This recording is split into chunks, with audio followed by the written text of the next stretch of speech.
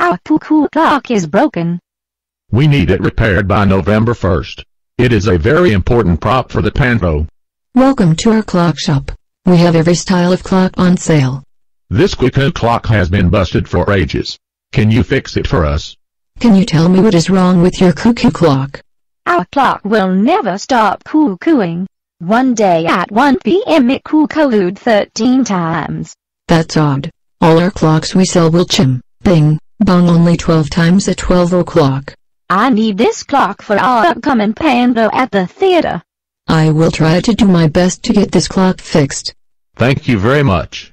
You are welcome. I will let you know when your clock is fixed. The clock shop has plenty of books on cuckoo clocks. I found this book. It's titled, So Your Cuckoo Clock Has Struck 13 O'Clock. Let's see what it says. If your cuckoo clock cues 13 times, bring it to the clock master.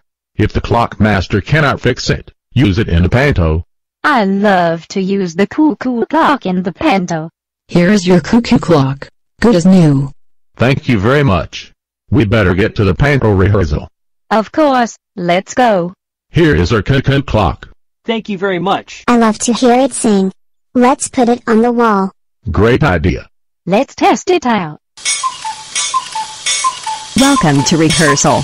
What's wrong with that cuckoo clock? When is it going to stop cuckooing? How can we rehearse our piano? I love the cuckoo clock.